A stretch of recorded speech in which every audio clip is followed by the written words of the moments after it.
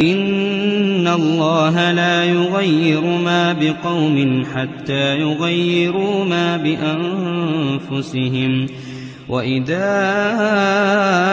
أَرَادَ اللَّهُ بِقَوْمٍ سُوءًا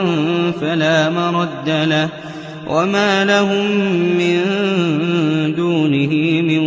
وَالٍ